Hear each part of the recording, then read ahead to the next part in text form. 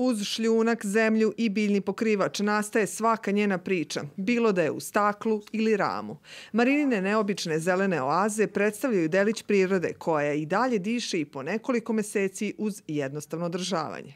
Konkretno u ovaj se stavlja mahovina, zatim se stavlja uh, čuvar kuća koja se zasadi i figura slonića. Kako je potrebno to održavati?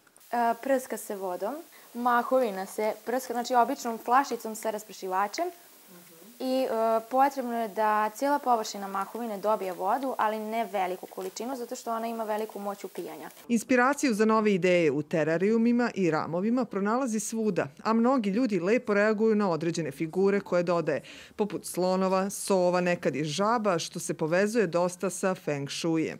Međutim, potraga za materijalom zna da bude izazov, jer mahovinu koju najviše koristi jednom je donela, kaže, čak iz Niša. Mahovinu u prirodi, da, to sam zaboravila da kažem. Obično tvrđava, Fruška gora.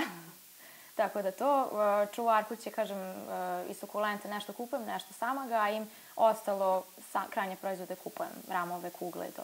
Priroda u staklu ujedno je bio i njen master rad gde je pratila razvoj i unapređenje proizvodnje, prednosti i mane biznis ideje i testirala tržište.